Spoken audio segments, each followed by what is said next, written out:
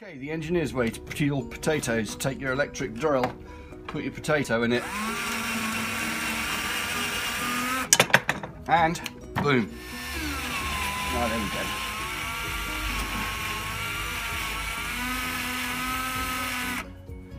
go. Boom. Where did that one go?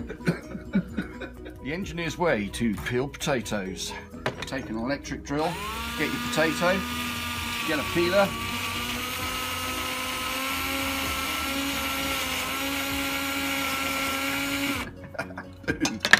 Done. Oops.